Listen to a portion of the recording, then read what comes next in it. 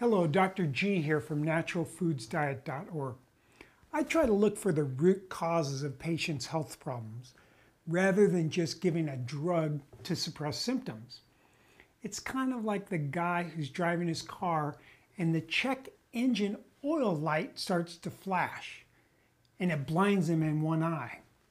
Now, rather than investigating the cause, he puts a piece of duct tape over the lights so that he can safely drive home.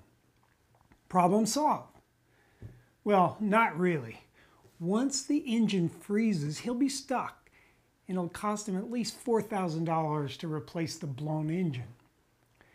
So when I'm looking for root causes of problems in my patients with chronic diseases, I consider checking mercury levels.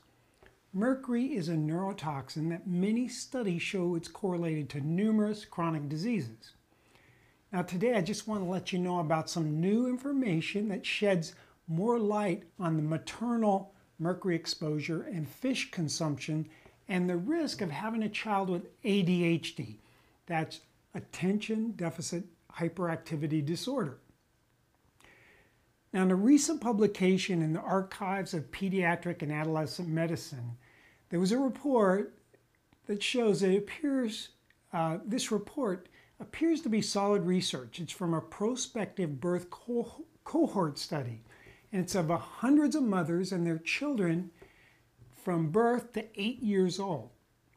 Now, the results, which are not that surprising, showed that mothers with the highest mercury levels and this was tested by hair analysis, had the greatest risk of having a child with ADHD.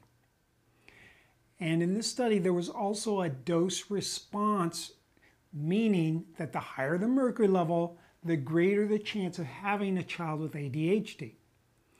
Now, I know many of you out there are probably thinking, didn't this guy do a video recently telling us to eat more fish? Okay, I admit I did. But listen to this. In this study, mothers that ate two or more servings of fish each, each week had less than half the risk of having a child with ADHD compared to average. So I stand by my previous advice eat more fish, especially if you're pregnant.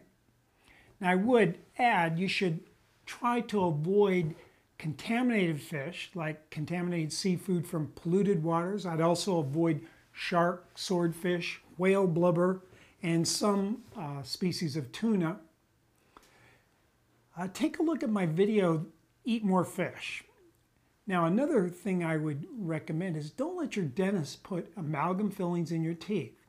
And don't let those medical types inject you with thimerosal preserved vaccines.